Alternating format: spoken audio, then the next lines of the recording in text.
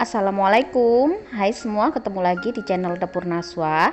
Sebelum lanjut jangan lupa dukung terus channel Dapur Naswa dengan subscribe, like, komen dan aktifkan tombol loncengnya juga agar kalian tidak ketinggalan resep-resep terbaru dari kami. Terima kasih. Pertama kita lelehkan 75 gram atau 5 sendok makan margarin.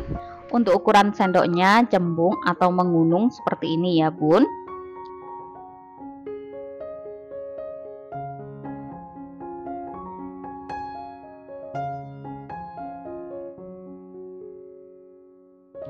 Setelah margarin sudah meleleh, kemudian kita angkat dan kita sisihkan sebentar. Selanjutnya kita siapkan wadah.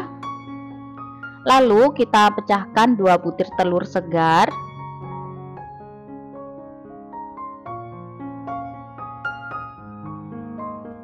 Kemudian kita tambahkan 225 gram atau setara 15 sendok makan gula pasir.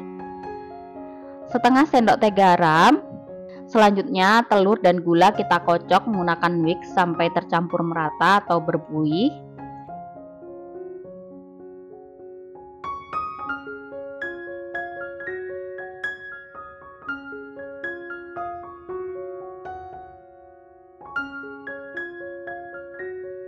Setelah adonan telur sudah berbuih, kemudian kita masukkan 50 gram atau 5 sendok makan tepung tapioka Selanjutnya kita masukkan 850 gram singkong yang sudah diparut. Untuk berat singkongnya ini ditimbang setelah diparut ya bun atau ini setara 1 kilo singkong sebelum dikupas.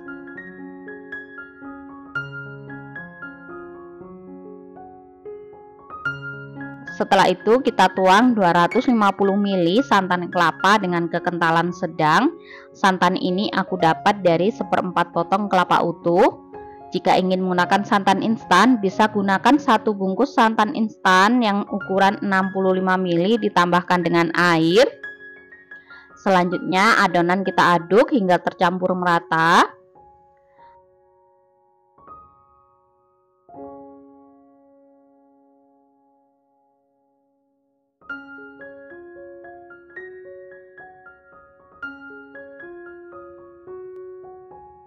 Setelah itu kita tambahkan 100 ml jus pandan. Jusnya ini aku dapat dari 3 lembar daun pandan.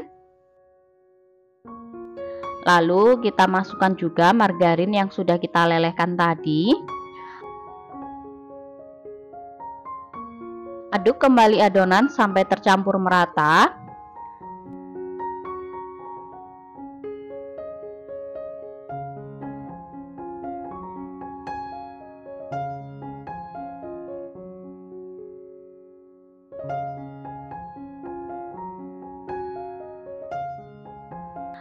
Kemudian kita tambahkan pasta pandan atau pewarna hijau secukupnya.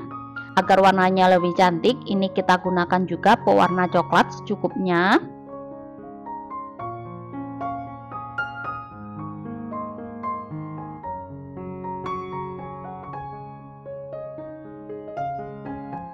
Setelah semua bahan sudah tercampur merata, kemudian adonan ini kita sisihkan sebentar. Kemudian kita siapkan loyang di sini aku menggunakan loyang dengan ukuran 20 x 20 cm. Lalu kita olesi loyang dengan margarin tipis-tipis saja.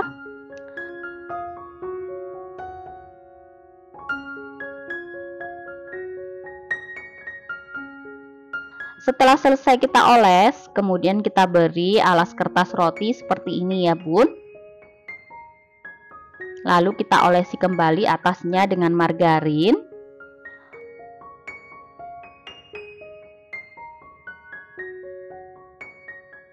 Setelah loyang sudah siap, kemudian kita tuang adonan ke dalam loyang. Sambil menuang, kita aduk-aduk adonannya terlebih dahulu.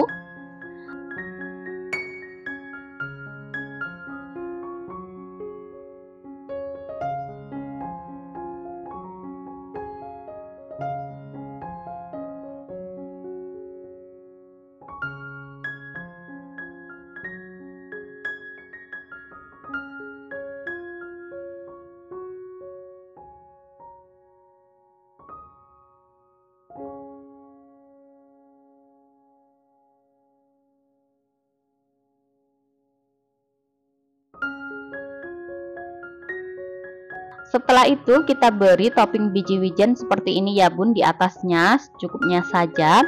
Untuk topping bisa juga diganti dengan kismis atau topping yang lainnya.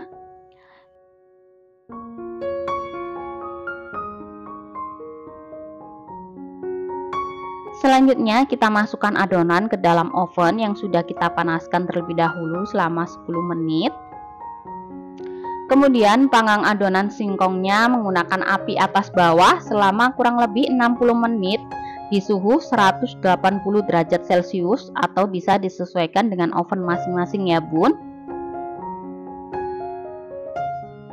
Setelah 60 menit kita panggang, bingkai singkong pandannya sudah matang Kemudian kita angkat dan tunggu hingga dingin. Nah, ini kue bingkai yang sudah dingin. Kemudian kita keluarkan kue dari dalam loyang.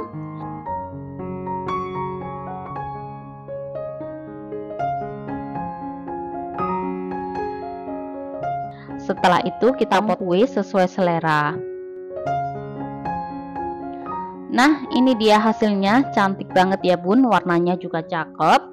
Ini kuenya enak banget, manisnya pas, teksturnya kenyal dan juga lembut. Untuk cara buatnya juga sangat mudah ya.